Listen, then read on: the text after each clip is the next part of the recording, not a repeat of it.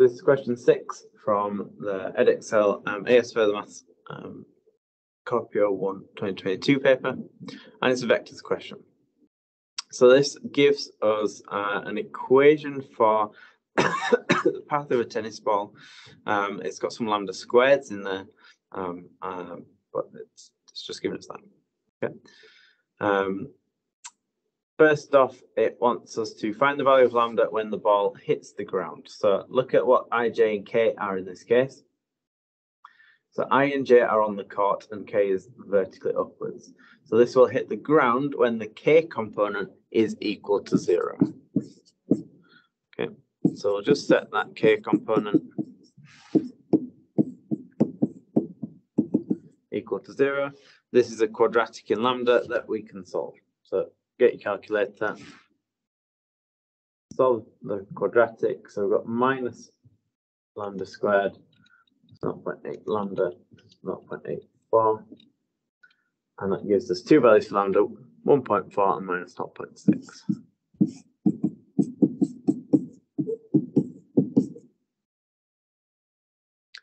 Notice in the question it says lambda has to be bigger than zero, so it's not this one.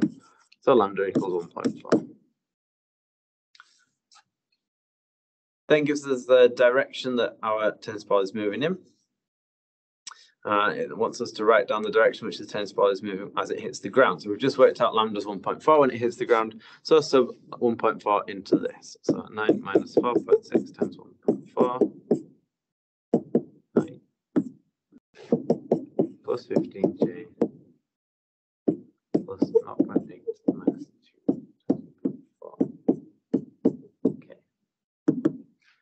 work these out.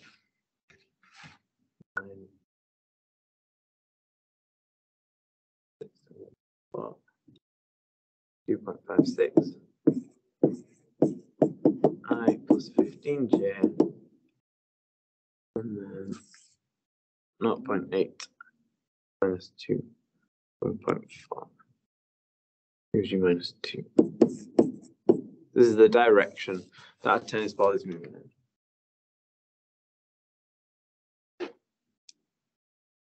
It then wants us to find the acute angle at which the tennis ball hits the ground, given your answer in degrees to one decimal place. So um, this is essentially an angle between a line and a plane question, where the um, the floor is modeled as the um, ij, so like the xy axis. A vector that's perpendicular to that is basically just k, so 0, 0, 1. Okay, so you've got your floor, which is a plane, the normal vector to that is 0, 0, 1. And we're hitting it at some angle with this vector here. So we're going to use the dot product formula. And the vectors A and B. Find the angle. So magnitude of A is just 1. Magnitude of B, 2.56 squared plus 15 squared 2 squared square rooted.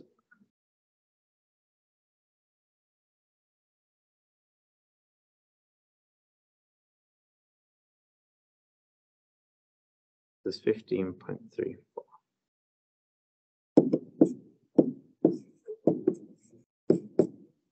Keep that in our calculator for later. We need a dot b, um, which will just give us minus 2. So most of it's zero and then just one times g minus two at the bottom, g minus two. Then you can use your formula. So cos theta is um, a dot b minus magnitude of a, magnitude of b. So put in what we've got.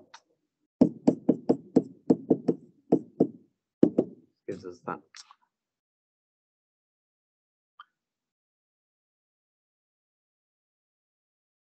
Work that out in your calculator. So inverse cos minus 2 over ans is 1.7. Uh, we're going to want to be in degrees. In degrees, that's 97.5. Degrees, it asks for one decimal place. It asks for the acute angle, so I can take that away from 180 or I could have just done this as positive in my calculator. For the acute angle, taking that away from 180 gives you 82.5 degrees.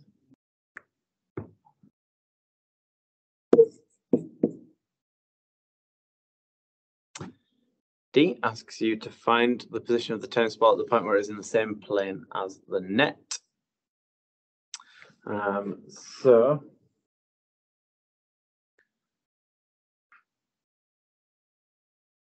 uh, it tells us in the question the net of the tennis court lies in the plane r dot j equals zero.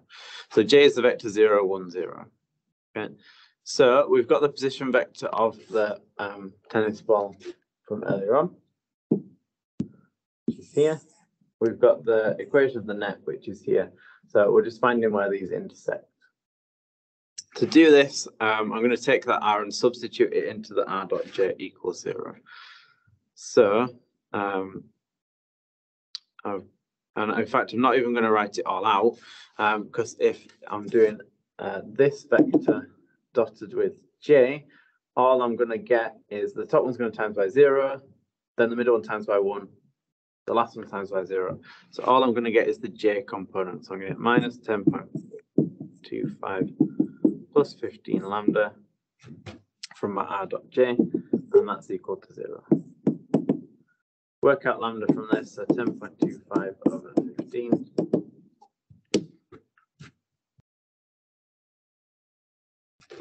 Gives us uh, 41 over 60. It wants the position of the tennis ball. So finally, then I've got to take that and sub that back into the equation for R. So I've got 4 minus 4.1 plus 9 lambda minus 2.3 lambda squared. Gives me 0.976.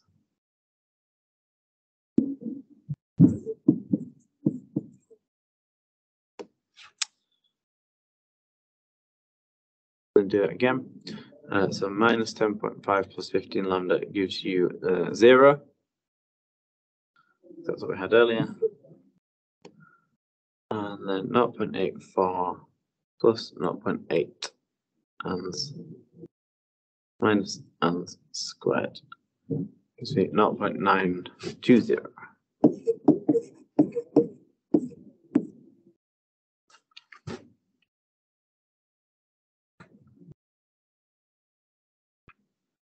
It then says the maximum height above the court at the top of the net is 0.9. Modelling the top of the net as a horizontal straight line state whether the tennis ball will pass over the net according to the model.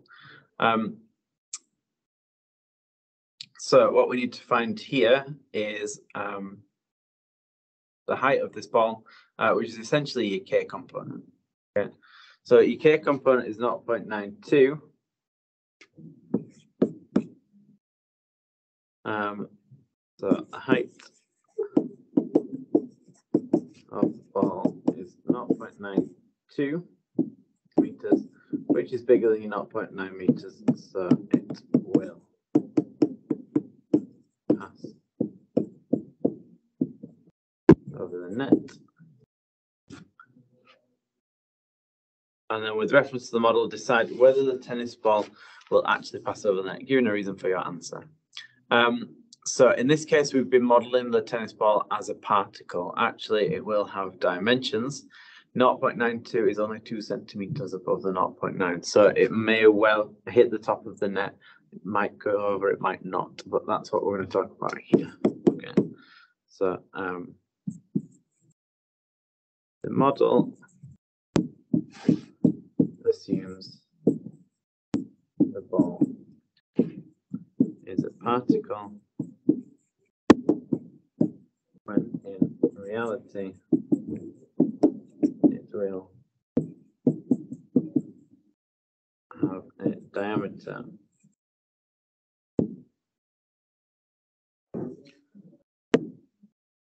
uh, as it only clears the net by two centimeters in reality it